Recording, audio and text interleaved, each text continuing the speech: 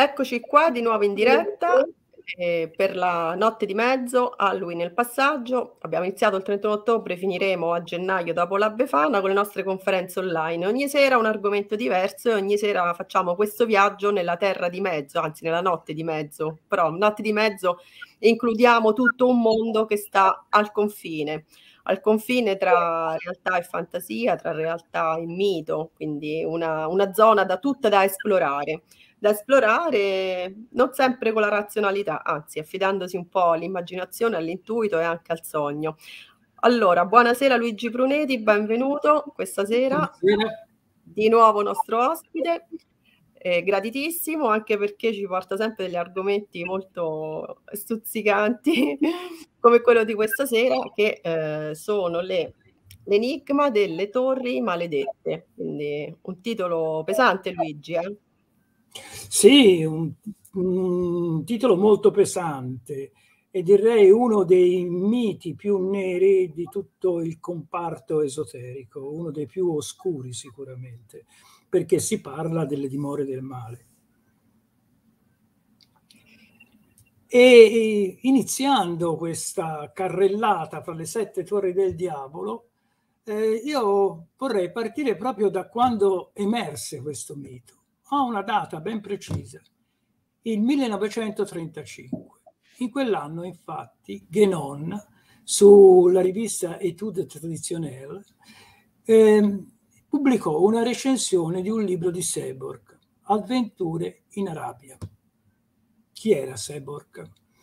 Un personaggio alquanto particolare e controverso, eh, basta, basti pensare che lui si mh, vantava di aver partecipato in eh, Liberia a un pranzo a, fra cannibali a base di carne umana.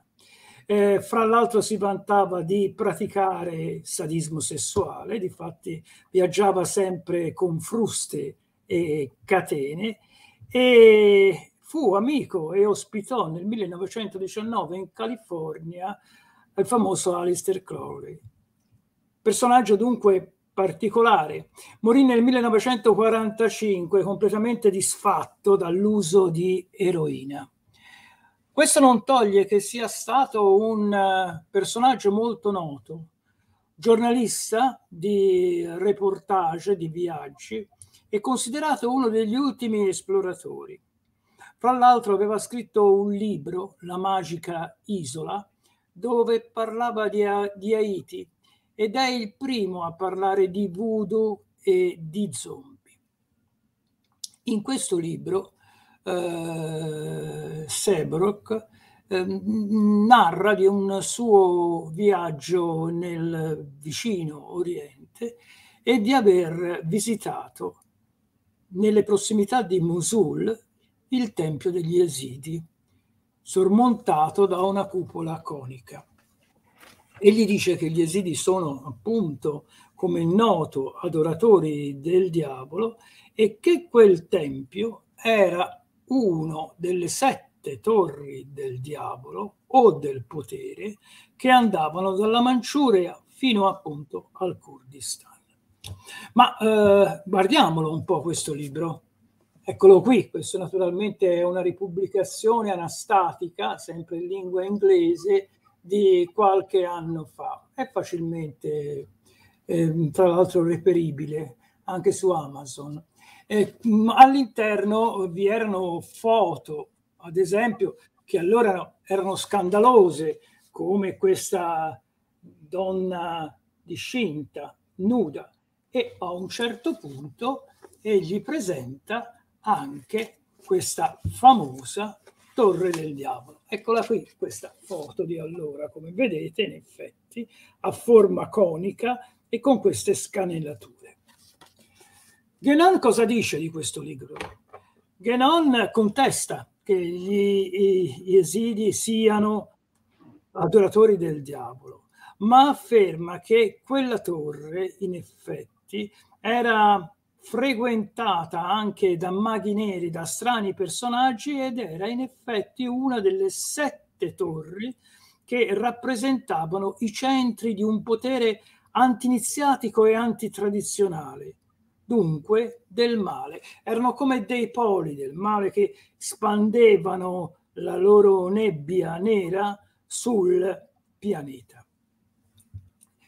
Sulle sette torri del diavolo Genon ritornò più tardi e soprattutto nell'epistolario, scrivendo numerose lettere che toccavano l'argomento. La più celebre del 1936 fu indirizzata a Vassili eh, Lovinescu, eh, che aveva lo pseudonimo di Geticus, e l'ultima di queste lettere del 1949 è, indirizzato a, eh, Iulio, è indirizzata a Iulius Evola. Inoltre ne accennò anche in una sua opera il regno della quantità e il segno dei tempi. Genon, fra l'altro, nei suoi scritti colloca le torri del diavolo, dice dove si trovano e spiega anche perché eh, sono in quei luoghi. La prima appunto sarebbe questa, la torre degli Esidi, che eh, si trova alle pendici del eh, Jebel Sinar, dunque nel Kurdistan, non lontano da Mosul, in territorio Yazid. Gli Esidi sono chiamati dai musulmani Shetan Perest, che vuol dire appunto adoratori del diavolo, e sono considerati eh, così anche da cristiani, da drusi e da altre comunità religiose eh, della zona. In realtà non è proprio così. La religione yesida poco studiata fra l'altro, è una religione sincretica eh, che ha elementi tratti dai mandei, dal mitraismo, dai culti iranici dualisti, dall'islamismo e dal cristianesimo. La loro principale divinità, oltre al Dio creatore, è il cosiddetto angelo pavone, Malak eh, Tavus. L'angelo oh, pavone è identificato però con Iblis, che è diavolo, il diavolo, che è Satana per i musulmani. Nella tradizione, nei testi sacri esidi che sono raccolti in questo libretto pubblicato da Giuseppe Furlani, i testi religiosi esidi, eh, nei loro testi, appunto, soprattutto nel libro nero, si racconta la storia mitologica di questa religione. In pratica il eh, loro oh, oh, fondatore, eh, Sai ibn Mustafa, eh, ebbe una rivelazione e apparve appunto l'angelo Pavone, una sorta di demiurgo, che eh, gli spiegò come stavano le cose. In pratica l'angelo eh, Pavone era eh, la maggiore creatura angelica dopo il Dio creatore. Ed egli cosa fece? E si comportò come il serpente nel, nell'Eden, cioè indusse Adamo, non Eva, a mangiare il frutto proibito, che per loro non era un pomo, non era un frutto, ma era il frumento. Soltanto Malak Tabus fece questo per pietà nei confronti dell'uomo, perché aveva pietà della condizione umana, dell'uomo destinato alla morte, destinato al nulla. Naturalmente, dopo aver compiuto questo atto di disubbidienza, si pentì amaramente e pianse, pianse, pianse, preso dal pentimento per un periodo di tempo lunghissimo e alla fine il Signore lo perdonò. Però egli con quest'atto di disubbidienza, come Prometeo che donò il fuoco agli uomini, egli aprì la strada per la salvezza dell'umanità.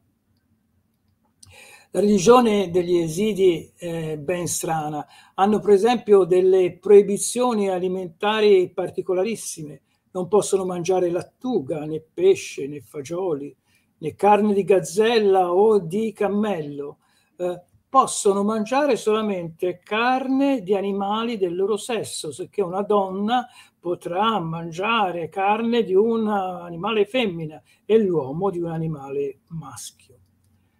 Hanno anche delle caratteristiche, portano, gli uomini portano i baffi e, e nessuno si veste con un colore blu scuro perché è da loro odiato. Eh, da cosa è dettata la loro cattiva fama? Prima di tutto dal fatto che è una organizzazione, una società endogamica e dunque completamente chiusi agli altri. Tra l'altro si trovano in una delle zone più tormentate della Terra e in una delle zone anche più discusse. Vicino a loro c'è Mosul. Mosul sorge sulla città, de, sull'antica città, sulle rovine della città di Ninive. Dunque siamo nella capitale dell'antico eh, regno eh, degli Assiri, di questo popolo guerriero e sanguinoso. Tanto è vero, se ci pensate bene, che anche Plati, eh, quando scrisse il suo capolavoro L'esorcista, fa iniziare la storia proprio in questa zona, nelle vicinanze di Mosul. È lì che viene scoperta la statua del eh, demone Pasusu. Dunque, la prima torre del diavolo è legata a questo culto così particolare e così malvisto da tutti i vicini di casa. La seconda torre si trova sempre nel vicino oriente, nelle prossimità del Kurdistan, sul monte Hermon, quel massiccio montuoso che raggiunge l'altezza di 2814 metri e che è posto al confine fra tre stati, fra Libano, Israele e Siria. Cosa ha di particolare questo monte? In primo luogo i cananei lo consideravano la montagna sacra eh, di Baal, la dimora del dio Baal. E in secondo luogo, negli scritti pseudo-veterotestamentari, mi riferisco al libro di Enoch e al libro di, dei Giubilei, eh, si narra un episodio accennato anche nella Bibbia, in Genesi 6, 1, 14. Si narra cioè che sul monte er- Hermon scesero i 200 angeli vigilanti che erano guidati da Semiyasa e lì fecero il giuramento di accoppiarsi con le donne degli uomini. E da questo accoppiamento nacque la razza dei giganti, la razza anomala dei giganti. E inoltre essi insegnarono alle donne tutte le arti oscure, a iniziare dalla magia. E dunque il monte Hermon e la torre del monte Hermon, la cosiddetta torre, poi sono torri virtuali, non sono edifici esistenti, fuorché quella che abbiamo vista precedentemente, è legata a un dettato eh, biblico e pseudo-biblico. La terza torre si trova in Africa, più a sud, nel Sudan, su un altro monte, il monte Nuba. Siamo nel Kordofan, in una zona semidesertica e in una zona anche estremamente poco ecumenica. Eh, secondo gli arabi, gli egiziani, era una terra popolata da divini- da esseri infernali, i Jin e i Ghoul.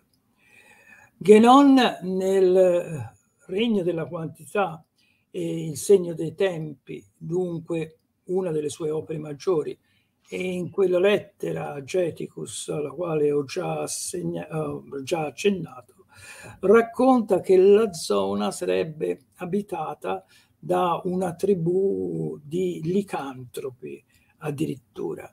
Eh, la licantropia mh, nella figura dell'uomo leopardo, ma c'è anche l'uomo leone, l'uomo coccodrillo, eccetera, eccetera, è molto diffusa in Africa, ma non solo in Africa, era molto diffusa anche da noi. La figura del lupo mannaro di cui abbiamo parlato eh, l'anno scorso, se non erro, è estremamente, eh, diciamo, è planetaria, si trova ovunque, è legata agli antichi culti animisti e totemici.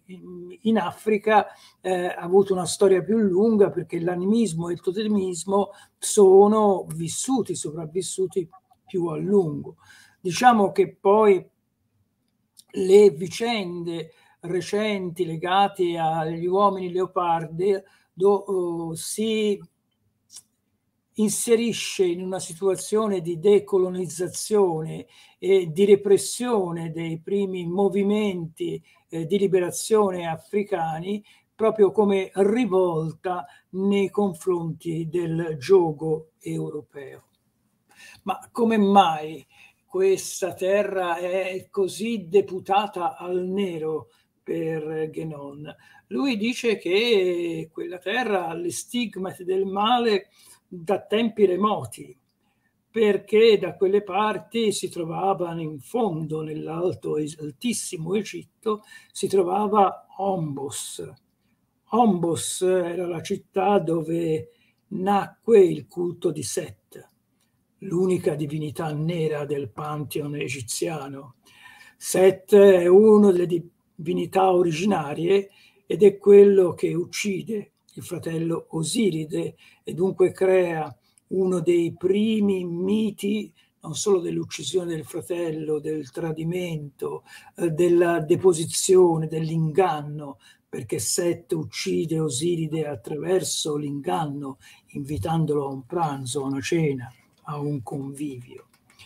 Uh, Set era per gli egiziani mh, l'aspetto negativo di Ra, era il sole che uccide, il sole che elimina ogni possibilità di vita, il sole che asciuga, che crea l'arsura, il sole che è rappresentato dal deserto. E Set era la tempesta di sabbia che veniva, che veniva appunto dal deserto libico e dove passava distruggeva tutto, ogni forma di vita. In seguito i greci associarono tet, eh, Set a Tifone e eh, ancora dopo Tifone fu associato a eh, Sorat. Sorat sarebbe il demone dei cabalisti, il cui nome è scritto in ebraico e conteggiato Uh, sapete che ogni eh, lettera dell'alfabeto ebraico rappresenta un numero, darebbe anch'esso il 666.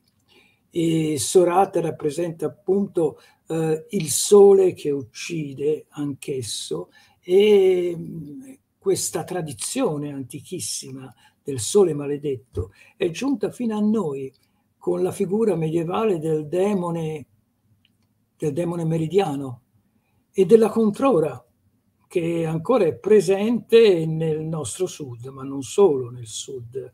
Sarebbe il demone dell'accidia, il demone delle passioni erotiche smodate, che si muove appunto quando il sole è a picco sull'orizzonte e sembra non volersi più muovere, nell'ora incerta fra il mattino e il pomeriggio, fra il sorgere e il tramontare. E poi dopo, dopo di, di, di, della terza torre, naturalmente ne troviamo in Africa una quarta. Si trova nel Niger ed è difficilmente individuabile, però è legata a un personaggio storico, a un Napoleone dell'Africa, a Sonny Ali Ber, signore del Songhai. Siamo nel XV secolo. Sonia Liber è un personaggio particolarissimo perché sembra che a un certo punto, egli era musulmano, rinnegò la religione del profeta per ritornare ai culti totemici animisti dei suoi antenati. Tra l'altro il padre era stato un re tribale, stregone. E, e, dopo aver rinnegato il profeta con un grande esercito, cominciò a conquistare un impero incredibile. Nel 1468 conquistò la Roma del Sud, Timbuktu, e nel 1466 iniziò a assediare Giana, una città che era una città sacra per l'Islam, una città che non poteva cadere in mano di un infedele, di uno che aveva rinnegato il profeta. Ebbene, egli, i sonni, l'assediò per sette anni, sette mesi e sette giorni e alla fine la conquistò e uccise tutti i mullah, tutti, eh, tutti gli uomini eh, di culto religiosi islamici, tutti marabutti, fece una vera e propria strage, riportando il culto degli idoli.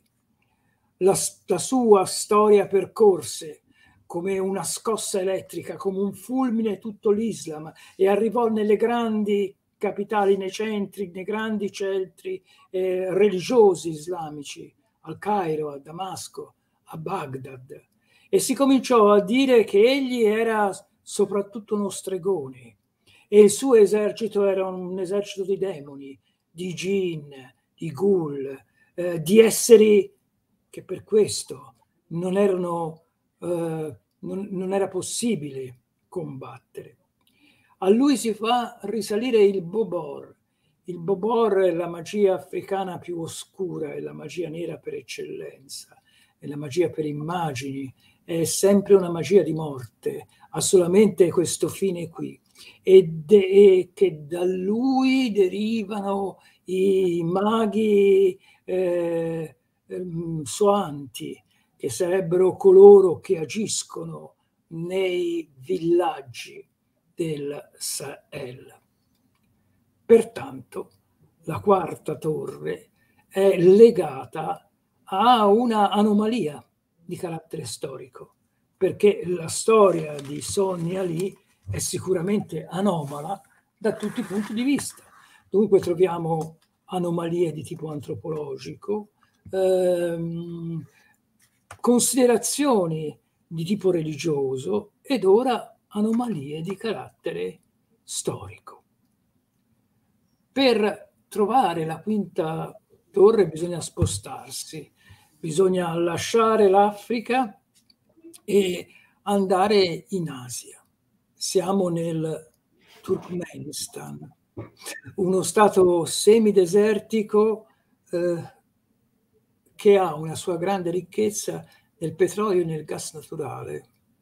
Il petrolio e il gas naturale mh, mm, dagli esoteristi sono considerati un simbolo del male, è la putrescenza della terra, è la decomposizione che dà queste sostanze, che sono al tempo stesso estremamente distruttive e inquinanti. Non solo inquinano il territorio, inquinano il paesaggio, inquinano Gaia, ma inquinano anche l'uomo perché incutono in lui desiderio di rapina, di accumulo di denaro, di corruzione, portano il male di Mammona. Per questo la, la quinta torre del diavolo si trova da queste parti ed è come simbolizzata, cosa che Genon fra l'altro non sapeva, non poteva sapere, eh, da due fatti catastrofici. Uno riguarda il lago Aral, il, mare Aral, uno, il lago più grande che vi fosse sulla superficie della Terra e che per il, un progetto fasullo dell'Unione Sovietica, quello di irrigare i campi di cotone, eh, è stato distrutto. In pratica nel 2007 l'Aral era ridotto a un decimo della sua superficie originaria. Ma non solamente questo, eh, dove prima vi era un lago, ora vi è un deserto con polveri sottili fortemente inquinanti che arrivano quando soffiano i venti, fino alle pendici del Karakorum, eh, che hanno provocato dei danni irreversibili a un numero incredibile di uomini, donne, di bambini. Un'altra cosa ancora, sul lago Aral vi erano delle isole, una di queste era l'isola di Vazosdeme, dove vi era un laboratorio sovietico per la guerra batteriologica e quel luogo è fortemente inquinato da una quantità enorme di antrace. In parte è stato bonificato con l'aiuto anche nordamericano, ma il pericolo praticamente rimane. E poi in questa terra, in Turkmenistan, si trova un'altra cosa. Vicino a Darvaza vi è la cosiddetta porta dell'inferno. Anche la porta dell'inferno si vede dai satelliti, lo si vede dall'alto, è dovuta alla imprevidenza umana. Praticamente è il collassamento di un grande giacimento di metano e per mh, impedire guai maggiori, sempre gli ingegneri sovietici provarono, decisero di dargli fuoco pensando che di lì a qualche anno si sarebbe esaurita. Ebbene, questa fornace, questo occhio infernale, ancora brilla e brucia continuamente, ormai di anni ne sono passati tanti e poi tanti, è, di, è, di, è addirittura diventata un'attrattiva turistica. Anche qui l'impatto umano è dunque micidiale. Ma andiamo oltre. L'altra torre, la sesta, si troverebbe alle pendici del, eh, delle Altai, in una terra particolare. Sono tante strette valli dirupate coperte di boschi fittissimi. E da queste valli oscure e così selvose nasce il fiume Ob. Il fiume Ob nasce dalla confluenza di due fiumi che formano come una freccia che indica verso nord. Come mai questa terra è così particolare perché era la terra, una terra abitata dagli sciti e gli sciti mh, erano considerati una popolazione dagli antichi, una popolazione rozza, barbara, eh, dedita addirittura a sacrifici umani, un, un popolo delle steppe eh, che ogni tanto creava delle mh, improvvisi assalti, era un popolo anche di razziatori nelle, nei territori civilizzati, ne seppero qualcosa i persiani degli sciti, ma anche i greci li ricordano con paura. E gli sciti furono poi identificati con il mitico popolo di Gog e Magog di Gog e Magog se ne parla in varie scritture, soprattutto nell'Apocalisse 22, 9, i popoli di Gog e Magog, ma eh, nel Deuteronomio si parla di Og, un re gigante di Basan che fu ucciso da Mosè e soprattutto se ne parla nel, nel Corano, nella sura diciottesima, quella della caverna. Popolo di Gog e Magog è il popolo dell'anticristo, è il popolo della fine dei tempi, quello che a un certo punto si eh, riverserà sui popoli civilizzati e porterà morte e distruzione. Secondo un'antica leggenda, sempre di carattere islamico, eh, questo popolo era stato rinchiuso da Alessandro Magno entro una valle che era stata chiusa da enormi porte di ferro. ma queste porte di ferro a un certo punto cadranno e inizierà l'invasione di questo popolo che segnerà la fine dei tempi. Dobbiamo dire anche un'altra cosa, che nella storia il popolo di Gog e Magog fu identificato, è stato identificato, siamo all'inizio del 200 con i mongoli.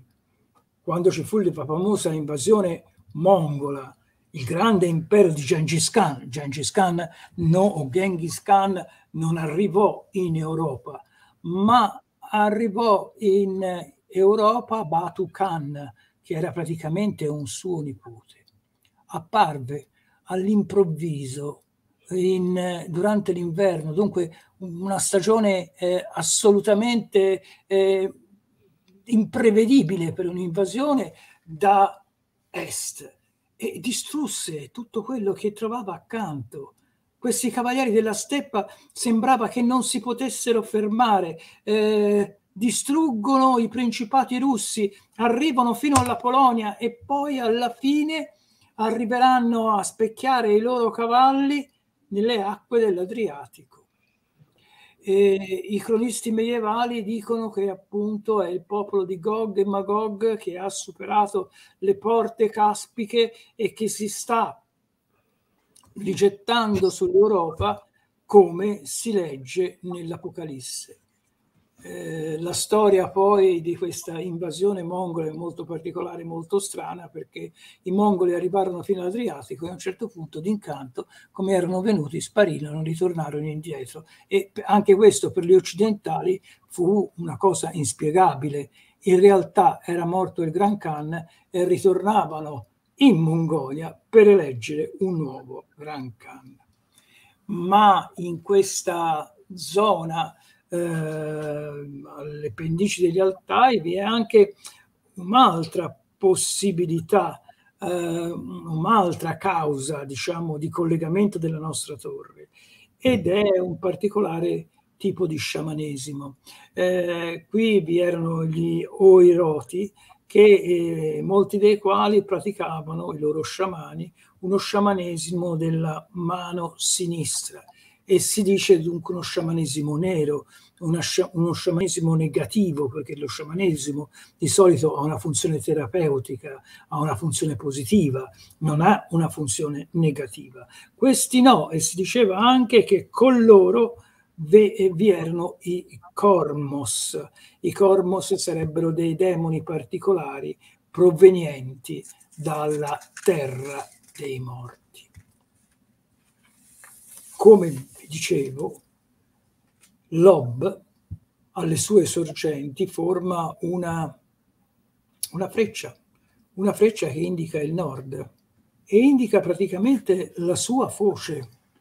L'Ob, infatti, sfocia nel mare di Cara. Siamo nell'estremo nord, siamo praticamente in un ambiente di tundra, ghiacciato per gran parte dell'anno.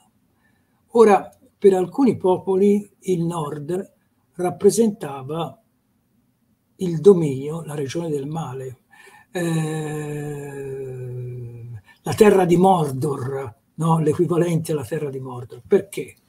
Perché dal nord veniva l'inverno, venivano i venti freddi, il gelo, eh, soprattutto gli iranici, il masdeismo, c'è questa idea che Ariman abiti nel nord, perché sull'altipiano iranico d'inverno ci sono 20-25 gradi sotto zero, si muore di freddo, no? E queste, e queste tempeste di gelo venivano dal nord. Il nord dunque era la terra maledetta e lo era anche per, in un certo senso, per eh, gli ebrei che vedevano nel nord la terra infelice dell'avversario, di Satana. Questo è un aspetto. Il secondo aspetto, quello che spiega che non, è che il nord rappresenta ciò che si è trasformato, ciò che, ha, che è deviato, ciò che ha cambiato di segno. Perché per gli antichi il nord era la terra degli, degli iperborei, dunque la terra della tradizione. Pitea di Marsiglia parla ad esempio dell'isola di Tule, l'isola felice, l'isola dove eh, Apollo scendeva fra gli iperbori e dunque essendo protetti da questo grande Dio, essi non conoscevano il male, era la terra senza male, non conoscevano la malattia, non conoscevano la miseria, eh, morivano quando volevano loro, quando erano stanchi di vivere, si lasciavano andare, si lasciavano morire. Era quella la terra felice, la terra delle origini. Ma poi tutto questo cambiò il male si insinuò all'interno e la terra della tradizione diventò la terra dell'antitradizione, la terra dell'anti-iniziazione e dunque del male perfetto. Queste sono le sette torri del diavolo come Genon le ha collocate sul territorio. Una cosa particolare da dire è che unendole insieme sulla carta geografica con dei tratti, essi, eh, esse disegnano praticamente un'immagine simile alla costellazione dell'Orsa minore. E L'Orsa minore è considerata una, mh, era considerata dagli antichi una costellazione infausta. Eh, per Tolomeo, per esempio, aveva lo stesso valore di Marte, dunque indicava guerra, conflitti, divisione, morte, tutto ciò che di negativo vi può essere. E in Egitto gli egiziani chiamavano l'orsa il cane eh, di Set e dunque l'associavano a questo dio malefico. Che non dice che poi ci sono altre terre oscure, ma di minore importanza, eh, città nere. Fra le città nere gli pone naturalmente quelle che conosceva, e dunque Anversa, Lione, Praga, la città degli alchimisti, e poi eh, ha una visione del tutto negativa delle Baleari, soprattutto di Minorca, chissà perché. Probabilmente perché a Minorca vi sono delle eh, delle costruzioni estremamente antiche che era difficile attribuire a qualunque cultura, a qualunque civiltà. E poi anche per eh, i colori di Minorca, perché ci sono queste gettate di eh, roccia rossa, quasi sanguigna, e il verde cupo della vegetazione fanno uno strano effetto. Forse sarà per questo. Eh, tra l'altro eh, il nostro Genon ha una visione molto negativa anche di parte del Nuovo Mondo, ad esempio dalla California, che dice che sia una terra segnata dal male, come il Wyoming, ma lì è facile capire il perché, perché vi è questo cosiddetto altipiano del diavolo, no? dove è stato girato anche incontri ravvicinati del terzo tipo. Eh, un'ultima curiosità. Esiste una vera e propria torre del diavolo, una torre che è chiamata torre del diavolo e non è lontanissima. Si trova, esiste, la si può vedere, la si trova sul mare, sul Mediterraneo, proprio al confine, quasi sulla linea di confine fra Spagna e Francia. Si chiama la torre di Madeloc. Eh, mm, si trova su un'altura all'altezza di 652 metri. Ma Deloc sembra che derivi da un linguaggio locale e significhi cattivo luogo. Perché cattivo luogo? Beh, prima di tutto perché la zona è funestata da fortissimi temporali, con una caduta notevole di fulmini. D'altra parte è un rilievo abbastanza elevato che si trova proprio sulla superficie del mare, dunque eh, le masse d'aria umida alzandosi si condensano e formano praticamente nuvole temporaleste, che questo è ovvio. Poi perché vi è uno strano effetto ottico per cui a sera si colora di rosso, sembra di un rosso sangue. E poi, fra l'altro, ma questo non, non, non è del tutto verificato, perché eh, si dice che su talune pietre vi siano degli stranissimi grafiti e inoltre in quel, su quella collina eh, vi, avvengono dei particolari fenomeni paranormali. Io direi che eh, a questo punto si possa fare un, uh, un'ultima considerazione. Da cosa deriva il mito? Ma uh, sto andando troppo avanti, Tiziana? No, no, va bene, intanto pensavo a delle domande, ma tu poi andando avanti rispondi, quindi sì, sì. aggiorno eh, il mito. Mm, mm, allora, la, la, prima cosa è questa, da cosa derivano, da cosa deriva questo mito? È difficile stabilirlo, però mh, mm, alcuni elementi ci sono. Il primo elemento è il valore simbolico eh, di torri e castelli, perché è la stessa cosa, che da una parte è estremamente attrattivo e da una parte è estremamente repulsivo. La torre e il castello erano il luogo sicuro un luogo di protezione, un luogo dove ci si poteva rifugiare in caso di pericolo, però erano anche il luogo del potere, delle prigioni, della Corte di Giustizia, che spesso e volentieri era ingiustizia. E quando si veniva catturati dai birri e portati nelle segrete, spesso e volentieri non si vedeva più la luce. Pertanto la torre, inviolabile, oscura, maestosa, che si staglia in mezzo al verde della vegetazione come un qualcosa di totalmente diverso, provoca questo senso di paura e di oppressione. E lo si vede nelle favole, che in fin dei conti sono uno specchio dell'immaginario collettivo.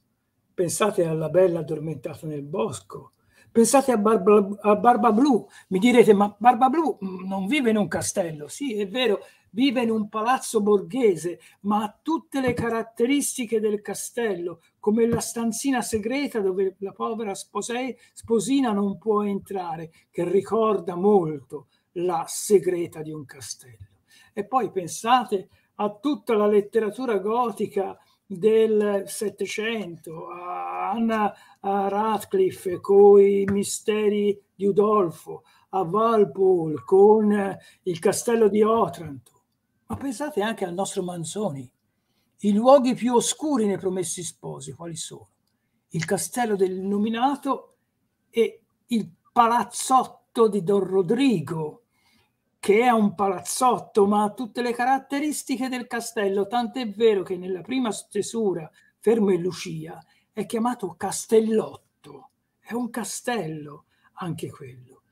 Poi c'è la letteratura gotica dell'Ottocento e qui i castelli si, si sprecano da uh, William Polidori, il vampiro, fino a Sheridan Le Fanu, Carmilla, per arrivare al grande al nostro grande Stoker con Dracula il vampiro e questo castello perduto nei Carpazi. Si potrebbe continuare con Biers, con Poe Kafka, il castello, che poi non è un castello, è un paese, è un villaggio e sembra un posto tranquillissimo, monotono, quotidiano.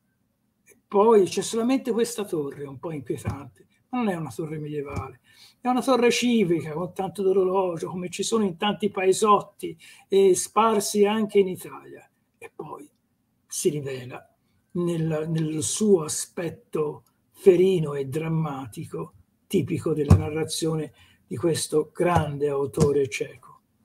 E potrei continuare con eh, tantissime cose, eh, anche Howard, il padre di Conan il, ba- il barbaro, ha il, la, la, torre dell'elefante dove vive il terribile mago Yara, oppure Wilson, la fortezza, un bellissimo romanzo gotico degli anni 70 dello scorso secolo, o Lovecraft, anche lui non ha castelli, i suoi racconti sono ambientati negli Stati Uniti nel New England e dunque castelli non ce ne sono, però le sue case in stile vittoriano ricordano molto castelli, con tutta questa quercia, impiallacciatura di quercia e mobili scuri che c'è all'interno, in queste finestre che si aprono sui boschi inquietanti del Connecticut e del Massachusetts.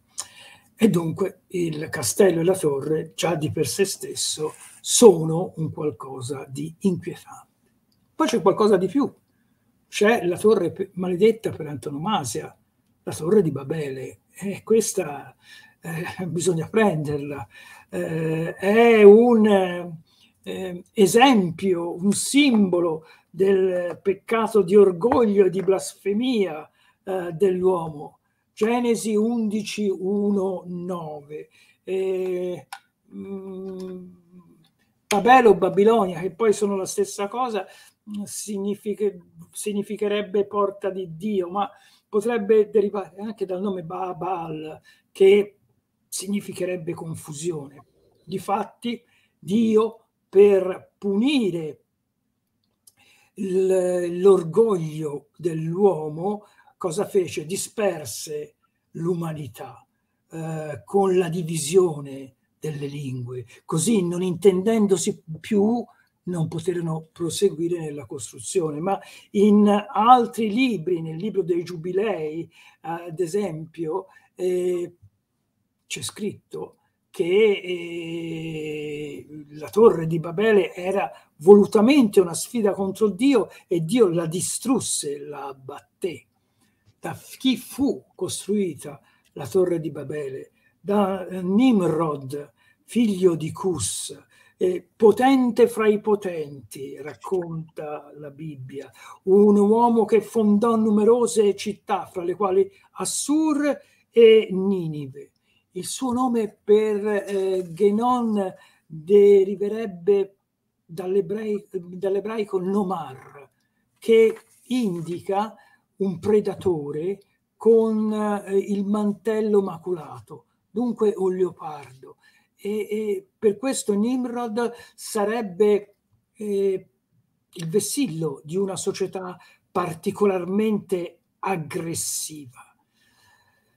E la Torre di Babele dunque è un peccato di presunzione, è un peccato di vanità, è un peccato di ribellione, tutto quello che volete e in più ha nella sua costruzione un altro valore fortemente negativo. La torre di Babele era costruita con mattoni.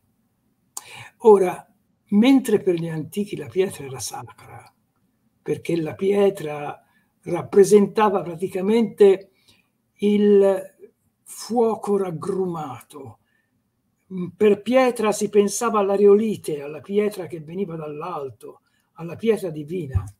Il mattone era fatto con il fango, dunque con la melma, con il peggio del peggio e poi veniva usato con i mattoni venivano legati con il bitume, cioè con un materiale nero, con un materiale oscuro, con un materiale che anch'esso simboleggiava la decadenza un'ultima cosa. Noi eh, abbiamo un'immagine della Torre di Babele. Torre di Babele rotonda, circolare, che sale verso l'alto. Questa Torre di Babele è dovuta a, eh, a Bruegel il Vecchio, perché eh, di poi Torre di Babele se ne parla tanto, ma nei codici miniati medievali è una torre come tutte le altre.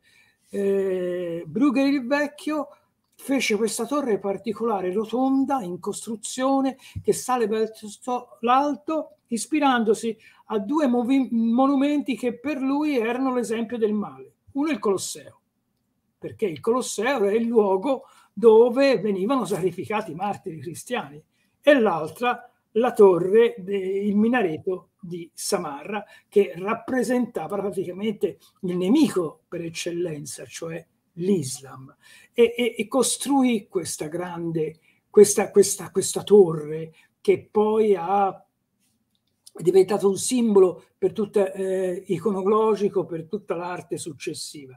Nel eh, quadro di, di Bruegel, che poi fra l'altro ne fece più di una copia, ce ne sono diverse versioni, eh, come in tutti i, i, i pittori nordici in particolare è fondamentale. Si vedono gli operai che lavorano, si vede lo stesso Nimrod, però si vede già il caos, perché ognuno lavora a conto proprio, non c'è un gioco di squadra, c'è già il malseme della divisione e dunque del fallimento. Sto andando troppo oltre, però un'altra cosa ve la voglio ricordare. Un'altra eh, leggenda alle basi delle torri del diavolo sicuramente sono i miti islamici sulla città maledetta, Irem delle colonne. Irem sarebbe una città che fu costruita in una delle zone più anecumeniche che esista sul pianeta, il deserto Cremesi, che è quella zona addirittura i cui confini non sono ancora delimitati, che eh, si trova fra Arabia Saudita e Yemen. Eh, lì, in pieno deserto, Shedan, l'ultimo, Shedad, l'ultimo re di Ad, avrebbe costruito una città che nel suo, nelle sue intenzioni doveva essere più bella del paradiso terrestre, una vera e propria città di incanto. Chi ne parla? Ne parla il Corano, la Sura 89, detta anche la Sura dell'Aurora, ed è ripresa da tanta letteratura araba, eh, ad esempio dalle Mille e una notte, nella novella di Abdullah il, il, cammelliere, il cammelliere che per ritrovare una rarissima cammella bianca si perde nel deserto e si trova di fronte a questa città completamente vuota e così meravigliosa. E nella novella di eh, Zobeide, ad esempio. Ehm, una leggenda, una storia così affascinante che eh, impressionò e influenzò anche il padre dell'horror fantasy eh, del Novecento, Lovecraft, il quale racconta che nei pressi del Ruba al-Khali, il deserto Cremesi, si sente delle volte sussurrare la voce di Cthulhu, la voce degli antichi. Ecco, fermerei qui perché sennò porto via tutto il. Se no ci fai 3-4 puntate tutte insieme, poi dopo, insomma, andiamo molto avanti. Allora, io ti ringrazio anche stasera per questo contributo ampio e ricco. Infatti, una delle domande che mi era venuta in mente mentre parlavi era proprio questo utilizzo del, simbolo, del simbolo della torre, perché abbiamo visto che le sette torri sono virtuali, no? Quindi sono dei luoghi specifici, potevano essere associati e lui ha scelto proprio la torre che poi ritroviamo anche negli arcani maggiori dei tarocchi. So certo. che tu certo. sei un appassionato dei tarocchi. Certo. Poi magari ci verrà a parlare anche dei tarocchi, che ne pensi? Volentieri, è il sedicesimo arcano, la torre. Eh, sedicesimo arcano. E... Ehm le minchiate fiorentine è il quindicesimo, perché c'è un, una figura femminile in meno. Bene, faremo anche una puntata sul, sui tarocchi. E poi ti volevo chiedere, no, abbiamo visto che queste sette torri ehm, replicano la costellazione dell'Orsa Minore. Mm. Secondo te è una coincidenza? Cioè, sono state posizionate queste torri in base a degli elementi no, territoriali che sono dei miti, dei culti preesistenti. Poi non so se ci sono anche altri tratti comuni che tu hai potuto desumere sulla collocazione proprio di queste sette torri oltre diciamo a quello che già, già, ci ha detto, ma poi escono fuori che sono coincidenti con l'orsa minore. Siccome sappiamo che l'uomo ha sempre ricercato un po' no? una eh, corrispondenza con la volta celeste, ma so, è stata casuale questa corrispondenza oppure secondo te è stata quella che ha influenzato la scelta de, dei luoghi? Ma secondo me no, è abbastanza casuale la cosa. Non è che la scelta dei luoghi sia stata dettata dal voler ripetere sulla carta geografica l'orsa, anche perché per vedere la costellazione dell'orsa, se tu segni vari punti, ci vuole un po' di fantasia. Prima di tutto è un'orsa praticamente una costellazione ribaltata e poi ehm, bisogna interpretarla come orsa, non è facile vederla da Chito, non è come il segno della Vergine che unisce riunisce i centri gotici eh, dedicati a Notre Dame, dove eh, il disegno è molto chiaro. No? Qui è molto meno chiaro, questo sicuramente. È una coincidenza, una coincidenza notevole, che non, su questo non, non si sofferma molto. Sono stati i suoi esegeti che hanno notato questa coincidenza notevole.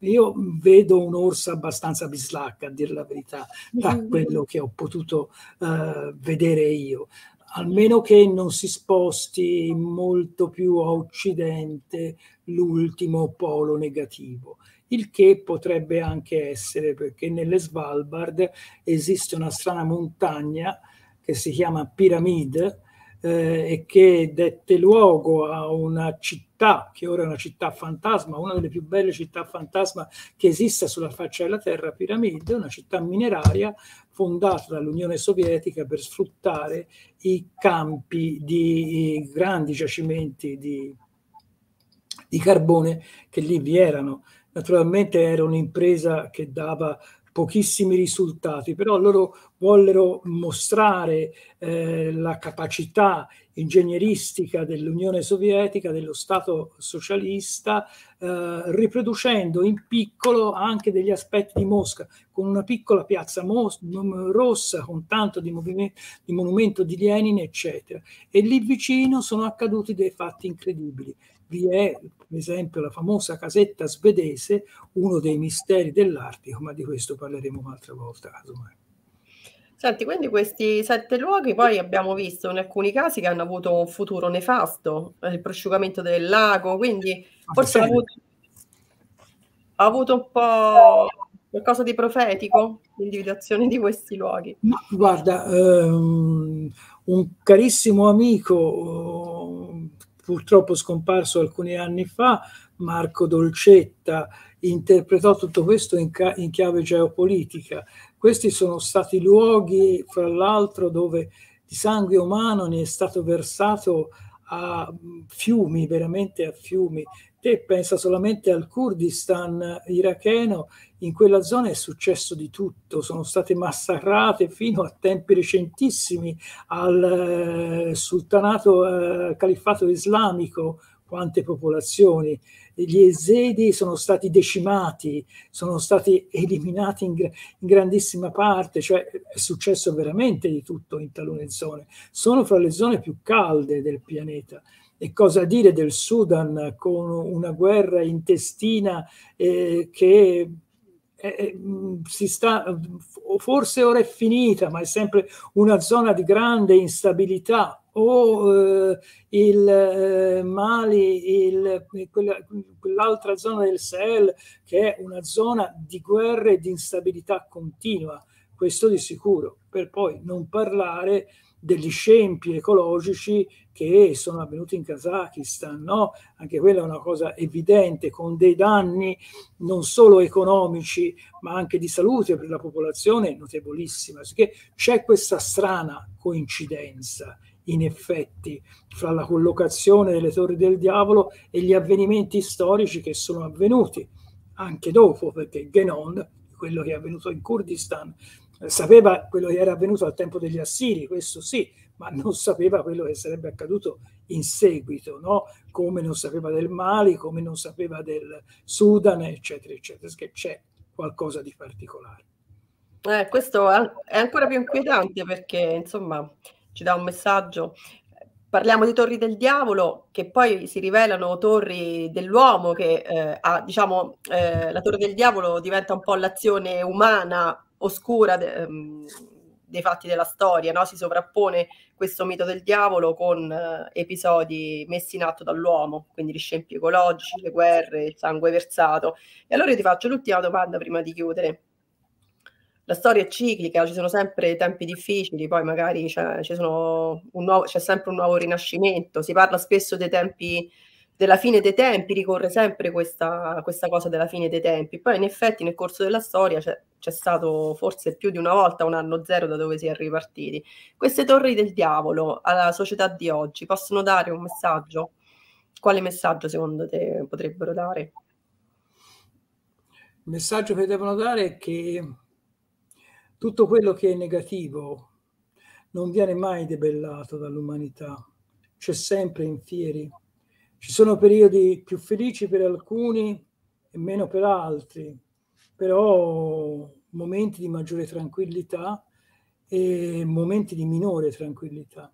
Però anche quando viviamo eh, nelle, nel, nello, nell'opulenza, in un'apparente serenità, bisogna pensare che eh, queste forze oscure, quelle forze oscure che sono insite nell'uomo, possono ritornare a galla da un momento all'altro. L'uomo non conquista mai alcuna posizione e quando arriva a conquistare qualche posizione la deve difendere. Non vi è mai un qualcosa di acquisito per sempre. Anche la libertà, la democrazia, l'uguaglianza sono dei valori che sembrano mm, incontestabili, ma per rimanere tali devono essere continuamente difesi, altrimenti li perdiamo. Sono perfettamente d'accordo con te e su questa bella riflessione chiudiamo la, la, puntata di stasera e ci rivediamo molto presto, sempre con Luigi Pruneti, parleremo del solstizio in, invernale del Natale e eh, anche dei tarocchi, però forse più in là. Comunque già ti prenotiamo anche per i tarocchi. Eh? Grazie per la partecipazione. Grazie a te Tiziana, buonasera a tutti.